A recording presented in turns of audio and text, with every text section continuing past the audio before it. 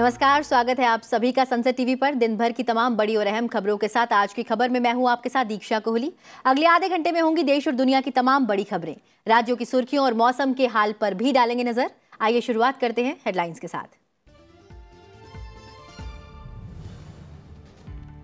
संसद में गतिरोध पर उपराष्ट्रपति जगदीप धनखड़ ने जताई चिंता। सांसदों से की सदन में अहम विषयों पर चर्चा की अपील। चेन्नई में आईआईटी मद्रास में सेंटर फॉर इनोवेशन समारोह को किया संबोधित।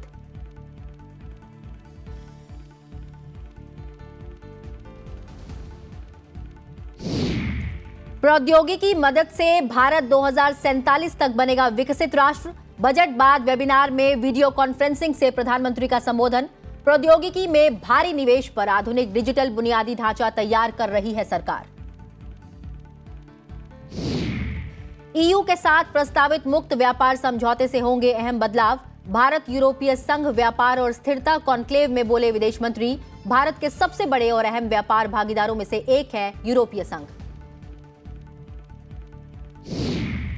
बुनियादी उद्योगों का उत्पादन जनवरी में बढ़ा सात दशमलव आठ फ़ीसदी। चार महीने के उच्चतम स्तर पर आर्थिक वृद्धि दर तीसरी तिमाही में घटकर चार दशमलव चार प्रतिशत पर। और इंदौर में भारत और ऑस्ट्रेलिया के बीच कल से तीसरा टेस्ट। सीरीज़ में टीम इंडिया को दो शून्य की बढ़त। न्यूजीलैंड ने रोमांचक टेस्ट मैच में इंग्लैंड को एक रन से हराया।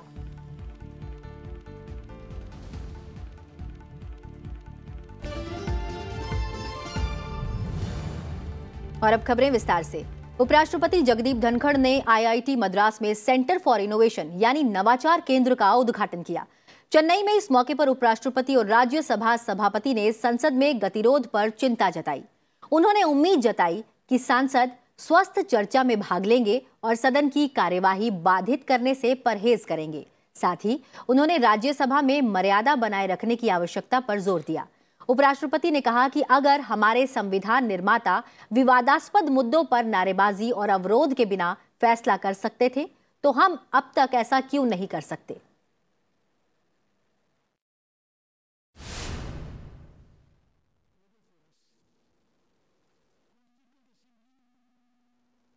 engaged into debate for three years. Did you see any disruption? Any disturbance? Anyone going to the well? No. If our founding fathers, framers of the Constitution,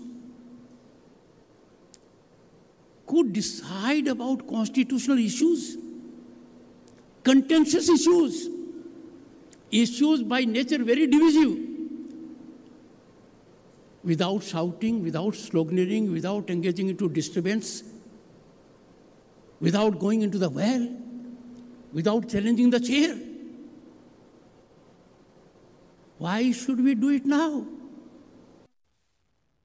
उपराष्ट्रपति ने कहा कि पूर्व छात्र किसी भी संस्थान की बड़ी ताकत होते हैं और संस्थाएँ पूर्व छात्रों की ख्याति, योगदान और सहयोग से आगे बढ़ती हैं इसलिए उपराष्ट्रपति ने देश के सभी संस्थानों में पूर्व छात्रों का तंत्र विकसित किए जाने की ज़रूरत बताई आईआईटी मद्रास के छात्रों को दो का योद्धा बताते हुए उपराष्ट्रपति ने कहा कि दुनिया में कोई भी युवा मानव संसाधन भारतीय दिमाग का मुकाबला नहीं कर सकता है।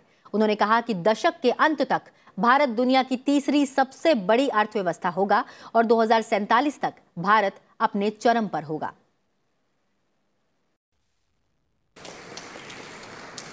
I have no doubt by turn of the decade, and everyone is watching the same thing, same sentiment, We'll be the third largest economy in the world. And with warriors of 2047 before me, by that time we'll be at the peak, and no one can do otherwise. I am before whom I call as warriors of 2047. Some of us will be around to see what you will be doing and performing, and the world will be watching in a stunned appreciation. Some of us may not be here, but I can say with confidence no young human resource in the world can compete with Indian minds, and I have the best before me at the moment. उपराष्ट्रपति जगदीप धनखड़ ने IIT Madras में centre for innovation में विभिन्न परियोजनाओं का दौरा किया। इस दौरान उन्होंने छात्रों के साथ बातचीत भी की। उपराष्ट्रपति ने आईआईटी मद्रास के युवाओं से लीक से हटकर सोचने का आग्रह किया। उन्होंने कहा कि नवोन्मेषी सोच हमारे डीएनए में है और हमें इसे सक्रिय करना है। प्रधानमंत्री नरेंद्र मोदी ने कहा कि प्रौद्योगिकी के इस्तेमाल से भारत को दो हज़ार सैंतालीस तक विकसित राष्ट्र बनने का लक्ष्य हासिल करने में मदद मिलेगी। उन्होंने कहा कि भारत बड़े स्तर पर एक आधुनिक डिजिटल बुनियादी ढांचा तैयार कर रहा है। यह सुनिश्चित कर रहा है कि डिजिटल क्रांति का लाभ सभी तक पहुँचे। आम बजट के बाद आयोजित वेबिनार की श्रृंखला में क्षमताओं का दोहन प्रौद्योगिकी के इस्तेमाल से जीवन सुगमता विषय पर प्रधानमंत्री ने कहा कि करदाताओं के सामने आने वाली समस्याओं के समाधान के लिए प्रौद्योगिकी का इस्तेमाल किया जा रहा है। इसके लिए कर प्रणाली को फेसलेस बनाया जा रहा है। उन्होंने कहा कि प्रौद्योगिकी की वजह से एक राष्ट्र, एक राशन योजना साकार हो सकी। प्रधानमंत्री ने कहा कि 5G और AI जैसी तकनीकों पर चर्चा की जा रही है और ये चिकित्सा, शिक्षा, कृषि और कई अन्य क्षेत्रों को बदलने के लिए तैयार है।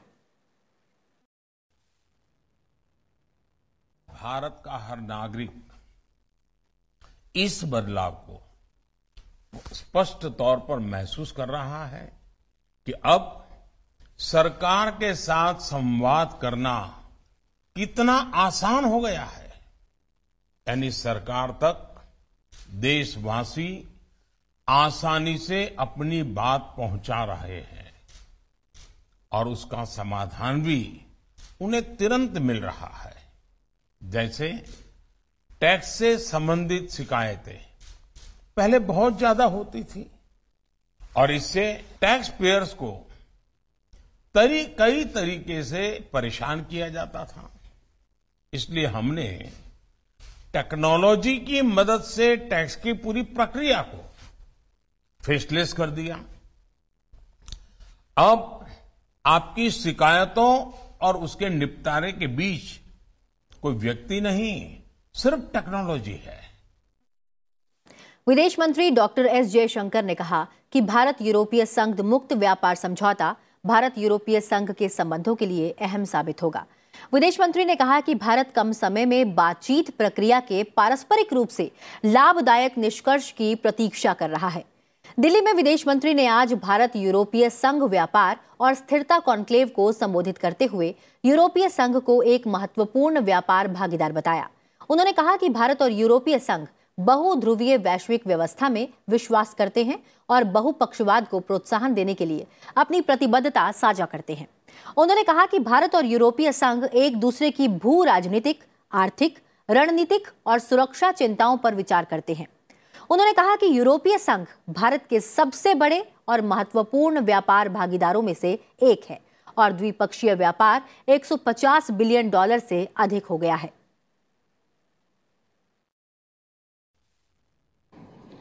The EU is one of India largest and most important trade partners our bilateral trade was in excess of US dollar hundred and fifteen billion in the financial year 2021-22, which is the highest ever.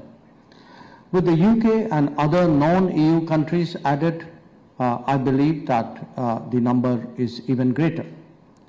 Now, we expect the India-EU FTA will be a game changer for the India-EU relationship. We look forward to a mutually beneficial, a mutually advantageous uh, conclusion to the negotiation process uh, within a reasonably short planned timeline. India's new approach to trade agreements addresses issues of non-tariff and behind the borders barriers, quality standards and related benchmarks. With like-minded partners, we have actually demonstrated in recent years a fast-track change in our FTA negotiation processes. The FTAs with UAE and Australia were actually concluded uh, in record time. Ukraine संघर्ष को लेकर रूस और पश्चिमी देशों के बीच बढ़ते टकराव के बीच वैश्विक चुनौतियों पर चर्चा करने के लिए जी ट्वेंटी देशों के विदेश मंत्री एक और दो मार्च को दिल्ली में बैठक करेंगे बता दें कि अमेरिकी विदेश मंत्री एंटनी ब्लिंकन रूसी विदेश मंत्री सरगेई लावरोव फ्रांस के कैथरीन कोलोना चीनी विदेश मंत्री किनगांग जर्मनी के अनालेना बेरबाक और ब्रिटिश विदेश मंत्री जेम्स क्लेवरली उन लोगों में शामिल हैं जो भारत की मेजबानी वाली बैठक में भाग लेने वाले हैं।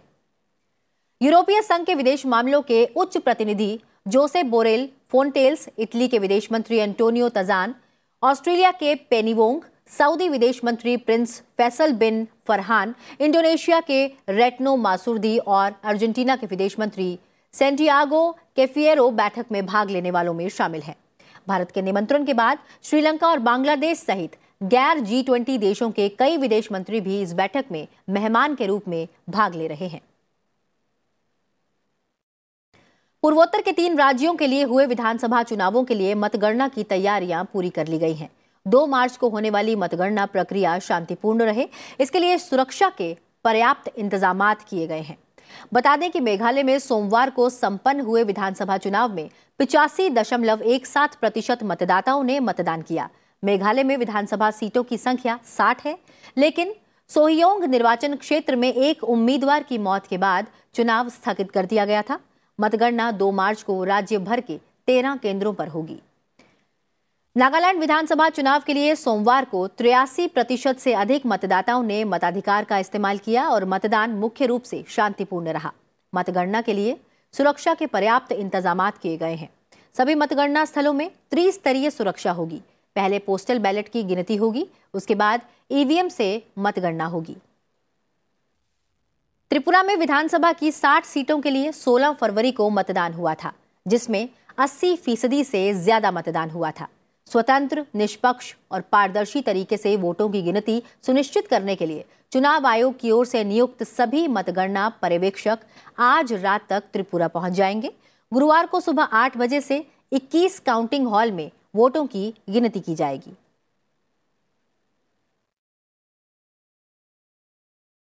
दिल्ली सरकार में उप मुख्यमंत्री मनीष सिसोदिया और जेल मंत्री सत्येंद्र जैन ने मंत्री पद से इस्तीफा दे दिया है।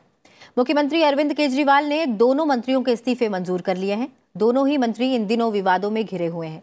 सीबीआई ने शराब नीति बनाने और उसे लागू करने में कथित भ्रष्टाचार को लेकर उप मुख्यमंत्री मनीष सिसोदिया को रविवार शाम गिरफ़्तार किया था।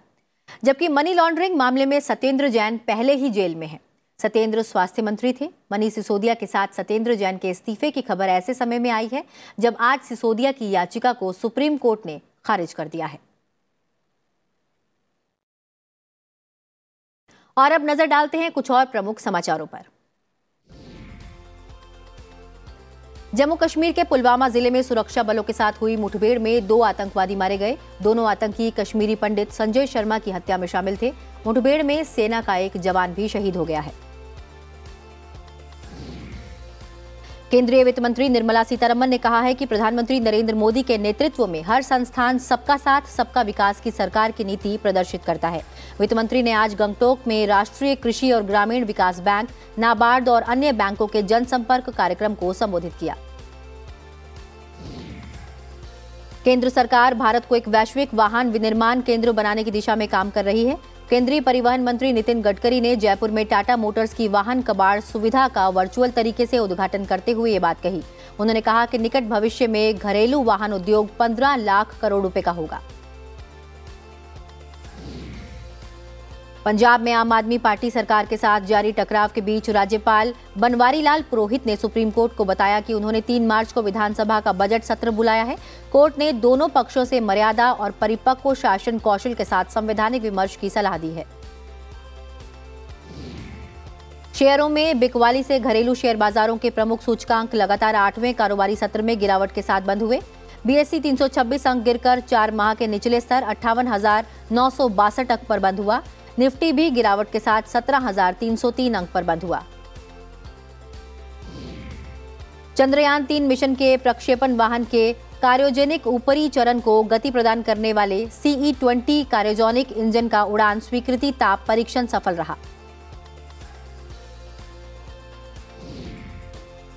लंदन स्थित भारतीय उच्चायोग ने नई युवा पेशेवर योजना के तहत आवेदन करने को लेकर ब्रिटेन के युवाओं के लिए वीज़ा आवेदन प्रक्रिया आज शुरू कर दी है। इसी तरह नई दिल्ली में ब्रिटिश उच्चायोग ने भारतीय स्नातकों के लिए प्रक्रिया आरंभ की है। व्हाइट हाउस ने संघीय एजेंसियों को सभी सरकारी उपकरणों से टिकटॉक को पूरी तरह हटाने के लिए 30 दिन का समय दिया है। वहीं कनाडा ने सरकार के सभी मोबाइल उपकरणों में टिकटॉक पर प्रतिबंध लगाने की घोषणा की है। प्रधानमंत्री नरेंद्र मोदी ने आज पूर्व प्रधानमंत्री मोरारजी देसाई की जयंती पर उन्हें श्रद्धांजलि अर्पित की। संसद के केंद्रीय कक्ष में भी उन्हें श्रद्धांजलि दी गई।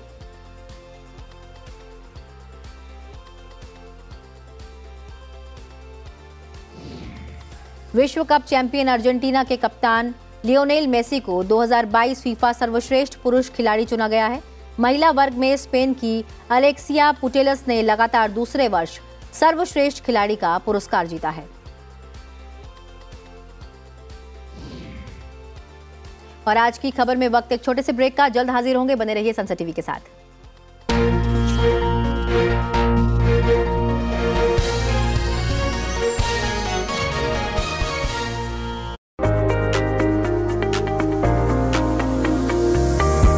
the India Startup Story.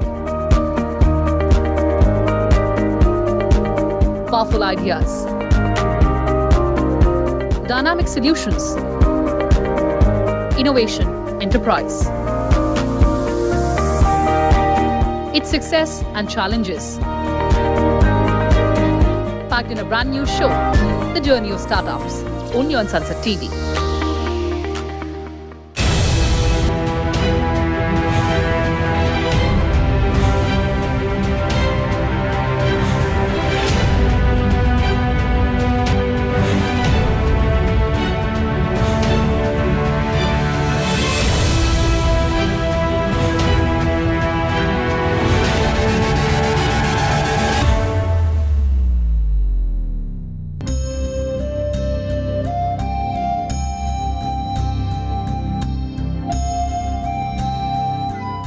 Became free 75 years ago.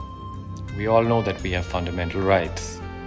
But do you also know that we have fundamental duties? The duty towards our nation, to develop a scientific temper, humanism, and the spirit of inquiry and reforms. Jai Hind.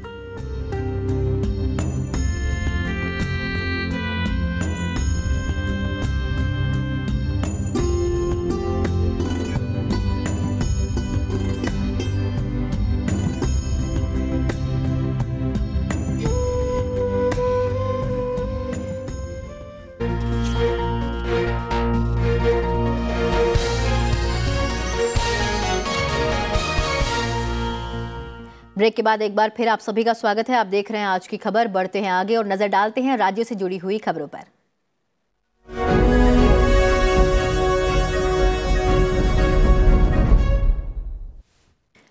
केंद्रीय गृह मंत्री अमित शाह और party अध्यक्ष JP Nadda सहित BJP के शीर्ष नेतृत्व ने पार्टी की तेलंगाना इकाई के नेताओं के साथ बैठक की। इस बैठक का मकसद इस साल के अंत में होने वाले राज्य विधानसभा चुनावों के लिए पार्टी के अभियान को धार देना था। गुजरात विधानसभा ने आज आमराय से राज्य के सभी प्राथमिक विद्यालयों में गुजराती भाषा के शिक्षण को अनिवार्य बनाने वाला विधेयक पारित कर दिया है। इसमें सीबीएसई, आईसीएसई और आईबी बोर्ड के प्राथमिक विद्यालय भी शामिल हैं। बिहार की नीतीश कुमार सरकार ने राज्य विधानसभा में वित्त वर्ष 2023-24 के लिए दो दशमलव छह एक लाख करोड़ रुपए का बजट पेश किया है। बजट में शिक्षा विभाग के लिए सबसे अधिक बाईस हज़ार करोड़ रुपए से अधिक का प्रावधान किया गया है। ओडिशा के पूर्व स्वास्थ्य मंत्री नब दास हत्याकांड और राज्य में कानून व्यवस्था की स्थिति को लेकर भुवनेश्वर में बीजेपी युवा मोर्चा ने राज्य सरकार के खिलाफ विरोध प्रदर्शन किया। नदी में चलने वाला दुनिया का सबसे बड़ा क्रूज एमवी गंगा विलास वाराणसी से रवाना होने के 50 दिनों के बाद आज डिब्रूगढ़ पहुँच गया है। इसकी यात्रा पूरी हो गई है। गंगा विलास ने 27 नदी प्रणालियों में 3,200 किलोमीटर का सफ़र पूरा किया।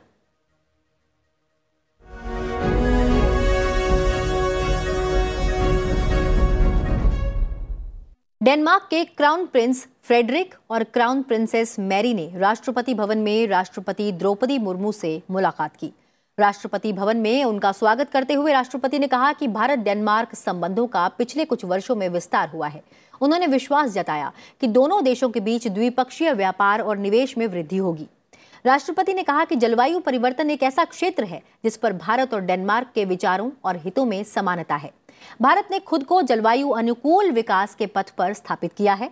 उन्होंने विश्वास व्यक्त किया कि जलवायु परिवर्तन के खिलाफ लड़ाई दुनिया को एक परिवार के रूप में एकजुट करेगी।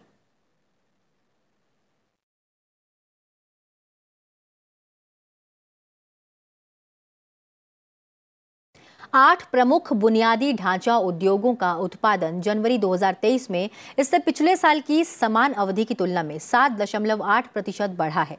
ये इसका चार माह का उच्च स्तर है। आंकड़ों के अनुसार कोयला, उर्वरक, इस्पात और बिजली क्षेत्रों के बेहतर प्रदर्शन के कारण ये वृद्धि दर्ज की गई है। पिछले साल इसी अवधि, यानी जनवरी 2022 में, बुनियादी उद्योगों के उत्पादन में चार प्रतिशत की वृद्धि हुई थी। दिसंबर 2022 में यह आंकड़ा सात प्रतिशत था। आठ प्रमुख बुनियादी ढांचा क्षेत्रों, कोयला, कच्चा तेल, प्राकृतिक गैस, रिफाइनरी उत्पाद, उर्वरक, इस्पात, सीमेंट और बिजली की वृद्धि दर, अप्रैल 2022 से जनवरी 2023 के दौरान सात दशमलव नौ प्रतिशत रही। देश की सकल घरेलू उत्पाद वृद्धि दर वित्त वर्ष 2022-23 की तीसरी तिमाही में घटकर चार दशमलव चार प्रतिशत रही है। मुख्य रूप से विनिर्माण क्षेत्र के खराब प्रदर्शन की वजह से जीडीपी में भी गिरावट आई है। भारत ने राजनीतिक, आर्थिक और सांस्कृतिक सभी बुनियादी मानवाधिकारों को समान प्राथमिकता दी है। मानवाधिकार परिषद के बावनवे सत्र के उच्च स्तरीय सेगमेंट में वीडियो संदेश में विदेश मंत्री एस जयशंकर ने ये बात कही है। उन्होंने कहा कि मानवाधिकार परिषद के सदस्य के रूप में भारत परिषद के अन्य सदस्यों के साथ काम करता है, ताकि यह सुनिश्चित किया जा सके कि परिषद अपने मूल जनादेश को पूरा करने में सक्षम हो। Our approach to human rights reflects our experience as a developing country with a strong sense of global solidarity. Our civilizational ethos, which envisages a strong commitment to the welfare of entire humanity, ensures harmony between our domestic and international policies. Border Gavaskar trophy में भारत और Australia के बीच चार cricket test मैचों की series का तीसरा test कल से इंदौर में खेला जाएगा बता दें कि होलकर क्रिकेट स्टेडियम में होने वाले इस मुकाबले के लिए दोनों ही टीमें पूरी तरह से तैयार हैं। पहले दो टेस्ट मैच जीतकर मेजबान टीम इंडिया के हौसले बुलंद है। भारतीय टीम ने तीसरे और चौथे टेस्ट के लिए कोई बदलाव नहीं किया है टीम में, लेकिन के राहुल को उप कप्तान के पद से हटा दिया गया है। ऑस्ट्रेलियाई टीम नागपुर में पहला टेस्ट पारी और 132 रन से हारी थी और दूसरा टेस्ट मैच छह विकेट से हार गई थी। न्यूजीलैंड के वेलिंगटन में दूसरे टेस्ट मैच के उतार चढ़ाव से भरे आखिरी दिन, इंग्लैंड को एक रन से शिकस्त दी और फॉलो ऑन बाद जीत दर्ज कराने वाली तीसरी टेस्ट टीम बन गई। जीत के लिए दो सौ अट्ठावन रन के लक्ष्य का पीछा करते हुए इंग्लैंड की पूरी टीम दो सौ छप्पन रन पर ऑल आउट हो गई। इससे दो मैचों की श्रृंखला एक एक की बराबरी पर छूटी। नील वैगनर ने दूसरी पारी में न्यूजीलैंड के लिए चार विकेट झटके। कप्तान टीम सऊदी को तीन और मैट हेनरी को दो सफलता मिली। रोमांच से भरे पाँचवें दिन, जो रूट ने पिचानवे रन की पारी खेलने के अलावा कप्तान बेन स्टोक्स के साथ पाँचवें विकेट के लिए 121 रन की साझेदारी कर इंग्लैंड को जीत दिलाने के करीब पहुँचा दिया था, लेकिन वैगनर ने इन दोनों बल्लेबाजों को एक रन के अंदर चलता कर मैच में न्यूजीलैंड की वापसी करा दी। टेस्ट मैच में रन के लिहाज से ये न्यूजीलैंड की सबसे कम अंतर वाली जीत है। ओरेगन चिड़ियाघर में ध्रुवीय भालू और उदबिलाव बर्फ़ के साथ खेलते और ठंडे तापमान का आनंद लेते हुए कैमरे में कैद हुए।